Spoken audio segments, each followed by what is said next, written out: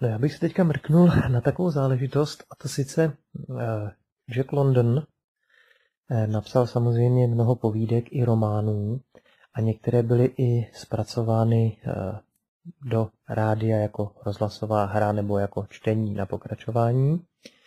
A dvě z těchto povídek, o kterých si teďka řekneme, tak mají základ v jeho takovém hlavním románu, který se jmenoval Chris Bellů a e, o něm jsem pojednával v té velké knize Jacka Londona mezi zlatokopy. A ty povídky se jmenují, jedna je česky a ta se jmenuje Tenkouř kolem tebe a druhá je zpracovaná slovenským rozhlasem a jmenuje se Požírači medvědího masa. Ta první povídka je vlastně úprava Londonova děje té povídky o uh, Smokim Beluovi, kdy on se svým strýcem cestuje na Yukon a originál v tom románu je, že strýce opouští a cestuje dál už potom sám a tam se odehrávají různé příběhy.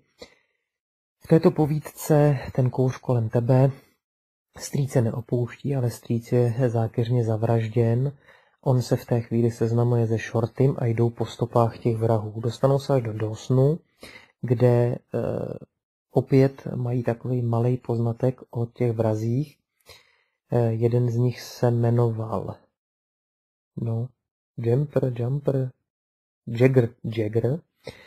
No a oni právě to jméno tam zaslechnou v jakési souvislosti. Ale protože tam není eh, kde se ubytovat, tak se ubytují eh, v jistém srubu eh, kousek odsunutého od dosnu, o kterém se mluví, že tam straší. Že tam straší mrtvý bývalý majitel. Oni do toho srubu dojdou, tam vlastně uvnitř zjistí, že jsou potraviny, je tam zlato, jsou tam kožešiny, všechno možné.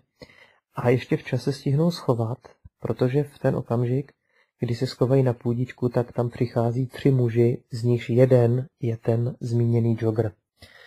E, našim dvou hrdinům, eh, Smokimu a Shortymu se podaří eh, dolů proniknout a ty bandity pochytat, čímž se odhalí nejen to tajemství strašidelného srubu, ale zároveň jsou chyceni dlouho hledaní bandité, kteří přepadali, loupili a v hernách okrádali zlatokopy. Takže to je ta jedna povídka. A ta druhá povídka, která se jmenuje Požírači medvěděho masa, tak tam je to opět eh, v návaznosti na ten román a je to od okamžiku, kdy se Shorty a Smoke nechají najmout a vezou lodě dvou z bohatlíkům. To ještě sále všechno odpovídá. Dostanou se až do dosnu, pak je tam takový skok a je tam součást té povídky je taková ta část, kdy oni cestují eh, na ten potok Skvo, kde se objevilo to zlato a předběhnou všechny ty zlatokopy,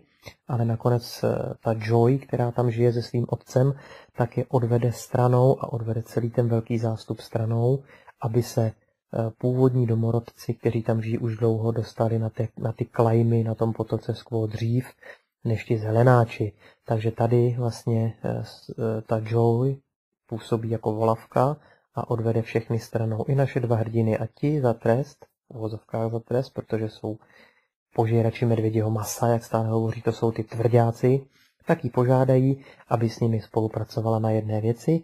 A ta věc je ta, že eh, se vracíme zpátky do děje toho románu, kdy Smokey zakupuje srub a Eh, zakupuje také pozemky na stavbu nového města.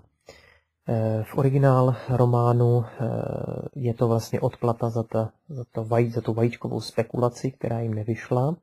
A tady v té povídce je to pouze tak, že s nima spolupracuje Joy, která jde vlastně na úřad zaknihovat ty pozemky a její otec, který vlastně jako působí jako volavka a všechny ty zlatokopy navádí k tomu, aby zakoupili ty pozemky, eh, které ten eh, Smokey s tím Shortym koupili a oni zlato, tam vlastně zlato není, ale oni se všichni zlatokopé domnívají, že tam je a že tyto naši dva hrdinové se ho tajně snaží.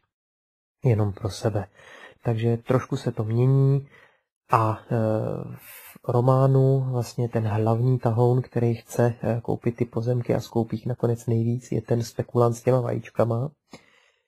A tady v té povídce jsou to ti dva zbohatlíci, kteří si najali naše dva hrdiny, aby jim pomohli dopravit jejich vybavení do Dosnu.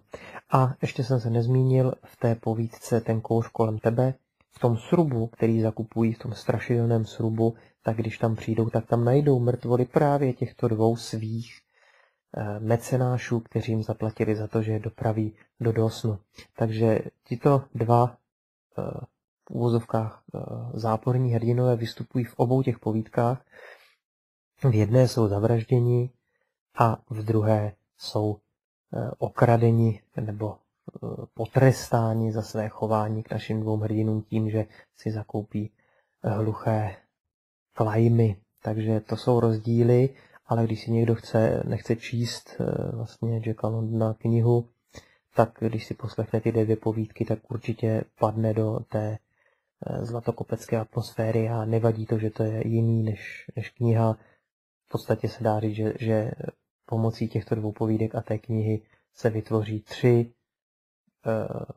dějové linie, které každá směřuje trošku jiným směrem a dá se vlastně jak poslechnout obě povídky a nebudete se nudit, tak si zároveň přečíst i tu knihu. Takže tady to jsou rozdíly kniha versus rozhlasové zpracování.